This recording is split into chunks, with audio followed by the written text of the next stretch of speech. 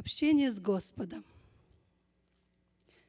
«Дитя мое», — призывает Господь, «не нужно знать много обо мне, достаточно любить меня от всего сердца.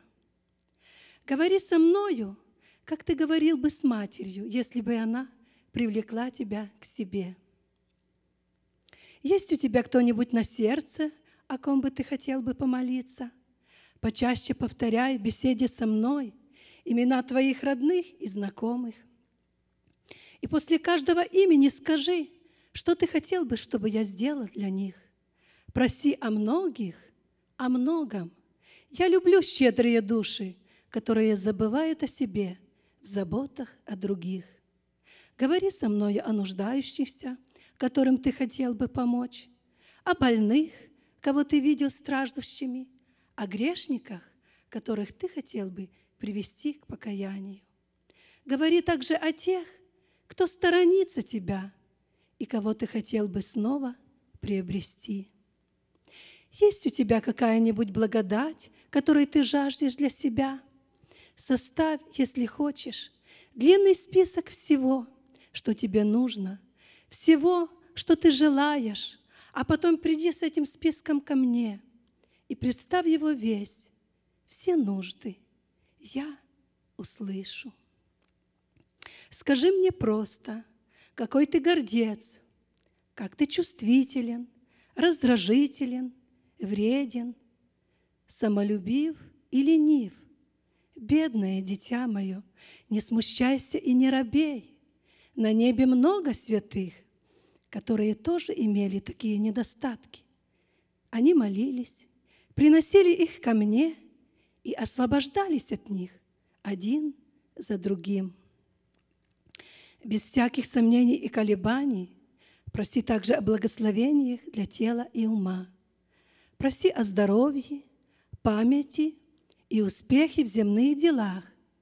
Я могу все дать, и я всегда даю, если благословения нужны для более глубокого освящения души. Что тебе нужно сегодня, дитя мое? Если бы ты знал, как я жажду оказать тебе добро. Есть у тебя какие-нибудь планы, которые заполняют твою мысль? разложи их все предо мною. Хотел бы ты обрадовать кого-нибудь сегодня, мать, твою семью, тех, от кого ты зависишь? Что ты хотел бы сделать для них? Побуждает ли тебя ревность сделать что-нибудь для меня? Может быть, ты хотел бы помочь душе твоего друга, который забывает обо мне? Принеси ко мне все твои ошибки, и я укажу тебе, что привело тебя к ним. Разве у тебя нет трудностей и забот? Кто причинил тебе скорбь, страдание? Скажи мне все, и ты о всем забудешь. Я тогда еще больше благословлю тебя. Ты боишься чего-то? Душит ли твою душу страх ни на чем не основанный? Доверься мне вполне.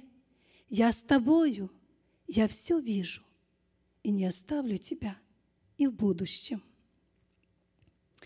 Нет ли у тебя радости, чтобы поведать мне о них? Дай мне радоваться вместе с тобою. Скажи, что случилось в твоей жизни со вчерашнего дня? Что ободрило тебя и обрадовало твое сердце? Кто-нибудь посетил тебя неожиданно и оказал тебе добро, боязнь и страх рассеялись. Кто-то проявил дружбу, имел успех там, где не ожидал его, получил письмо, подарок. Все это я приготовлю для тебя. Ты можешь принести мне твою благодарность и признательность.